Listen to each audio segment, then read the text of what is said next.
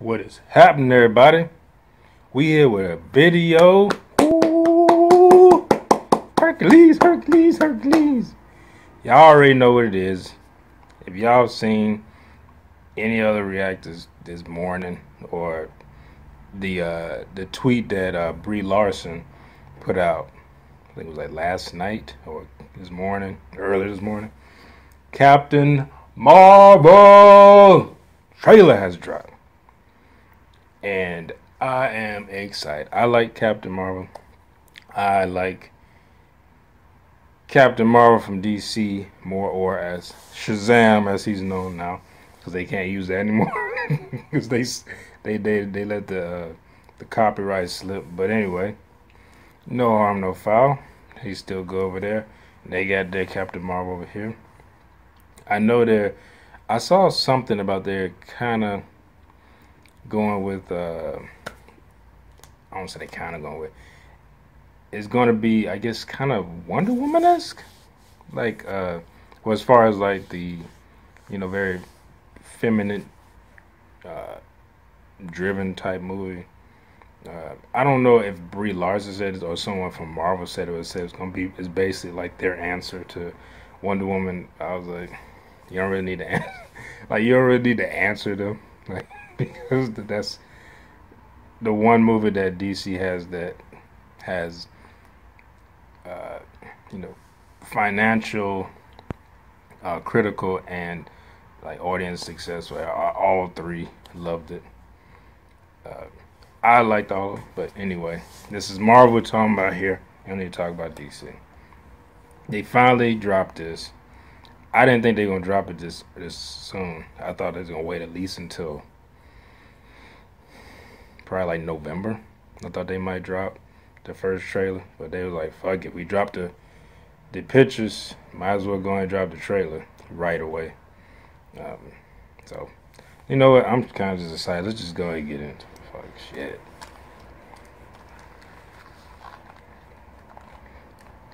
Let's see if they they live up to the hype. Marvel's definitely good at delivering hype. That's for damn sure.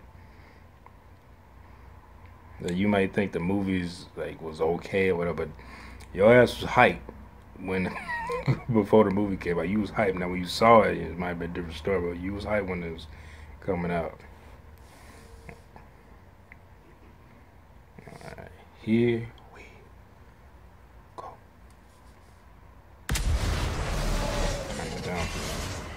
Oh no, she's falling out of the sky. She's fine. She's a, she's a superhero. Blockbuster. I still got my blockbuster card. I used to work at a movie store when I was, you know, was a teenager. War is a universal language. I know a renegade soldier when I see one. Never occurred to me that one might come from above.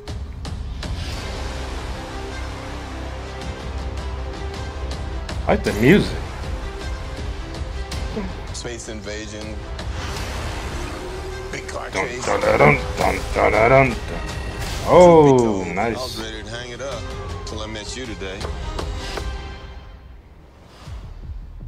So you're not from around here. It's hard to explain. That almost doesn't seem like she said that. like it was a, like a voiceover or Keep having these memories. I see flashes.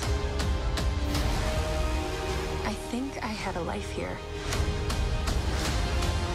She don't remember who I she can't tell is. if it's real.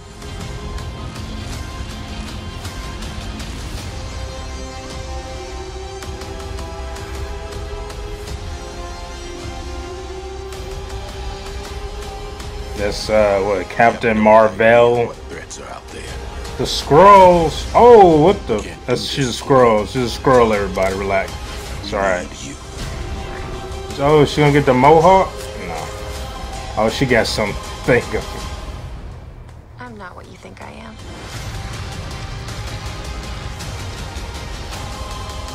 Why I think she going Super Saiyan now? Why did I think Brie Larson voice was deeper than that? I don't know. I don't know why I thought like it's it almost seems like that's not her voice. Maybe I, I haven't heard her voice in a while, but Because one, her voice had a little bit more bass in it than that. But that looked pretty good. I love that when she went Super Saiyan then. there. I was like, yeah.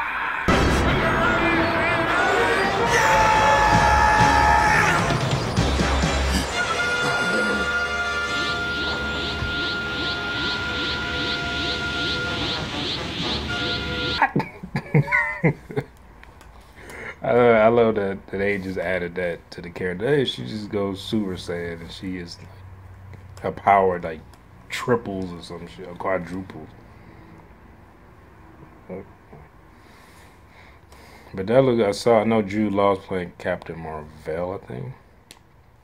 Um, that's the person who she gets her powers from. Now I know that uh, it's been a while since I read anything with, well, I guess Captain Marvel, Miss Marvel, as she used to be known in it. But uh, I know she got her.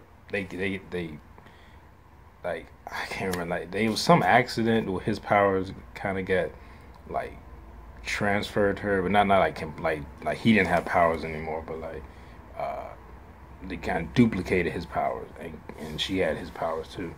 And I know she can. I know she's strong as fuck.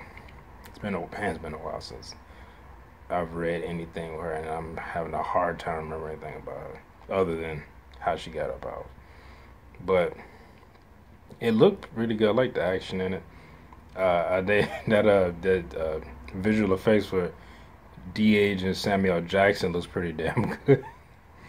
Uh, but they pretty good with that over there. I mean, when they did that Robert Downey Jr., I was like, that looked good. And uh, what was that? Uh, Civil War. It looked pretty damn good. Like it looked just because I watched recently a movie when he was much younger. I think it came out like the late '90s, and uh, I was like, that looked just like him, same body and everything. That must be weird when you look at yourself. Cause even now, like myself, I look at myself when I was younger. I still see myself.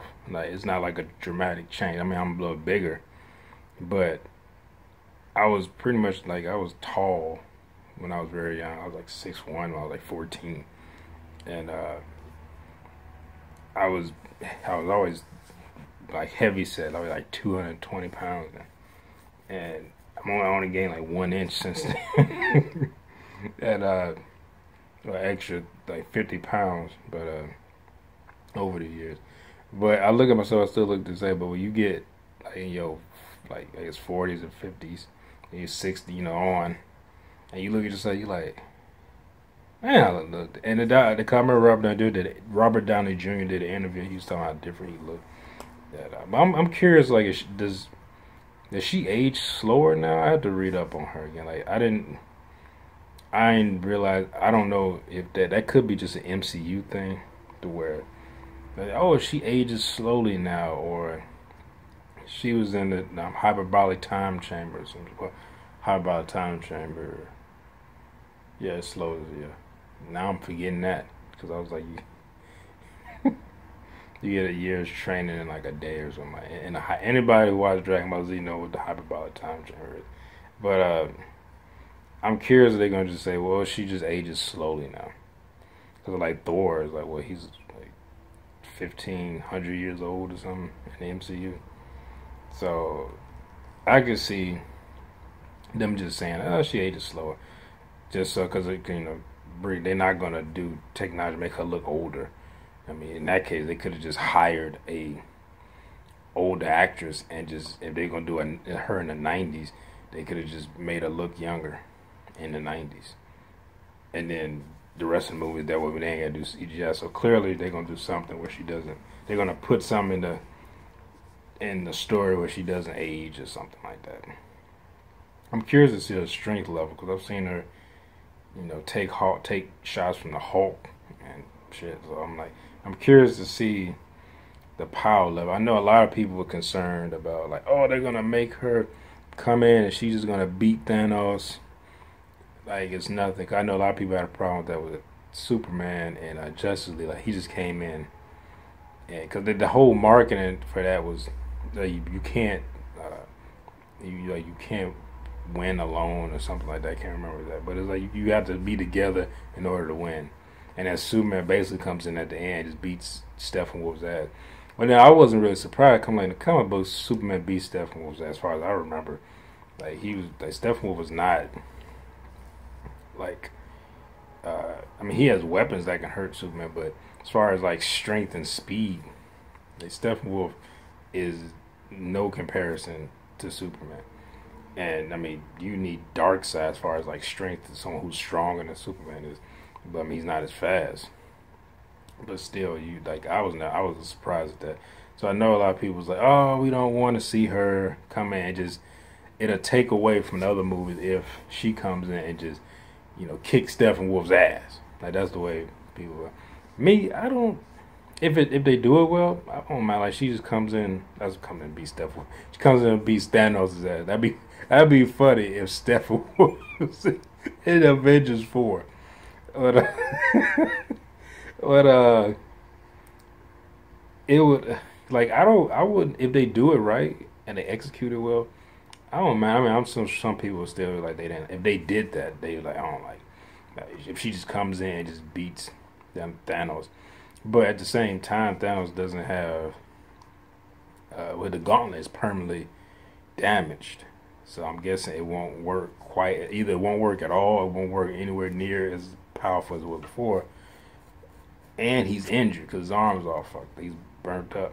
Now I don't know how much that would affect him. Thanos seemed like a pretty tough motherfucker. So plus he just manhandled the Hulk in that movie, which I'm not surprised. When I saw that, I was like, yeah, I mean he done that in the comics. He you know, just slaps the Hulk around like ain't nothing. Now he is he is afraid of fighting the Hulk when he starts getting pissed off. Hulk started getting more and more angry. Thanos, he'll fight him, but he'd prefer not to. so, so that makes uh, that, that's how that that's how that those fights go. But uh, I want to see her just straight up just uppercut the Hulk and like the stratosphere or something.